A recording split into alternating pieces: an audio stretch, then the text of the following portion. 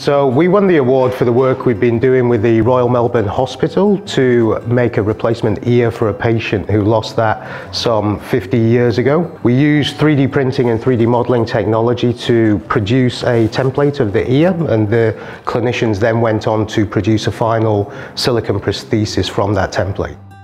So the work we're doing is really important because there's so many limitations at the moment in the way that they make prosthesis.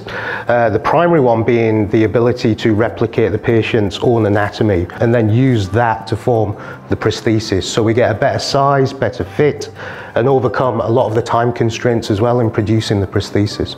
So the technology itself is fairly generic in the sense that we can apply it to any part of the anatomy. What we do is we take medical imaging data and also optical surface scans of a patient and from that we can make anything from implantable bone replacement devices, prosthetics, cosmetic devices or even rehabilitation devices, all of which we're examining at the moment. I believe that the work we've done for the prosthetics could easily be translated as a robust methodology for prosthesis production for the future.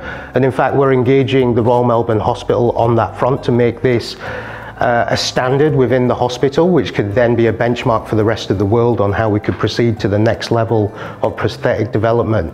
And so we hope in the following months or years to procure more funds to take the projects to the next level. Uh, we also believe as well that the potential for this could serve to reinvigorate the manufacturing scene in Geelong and provide new job opportunities for, for the local residents here.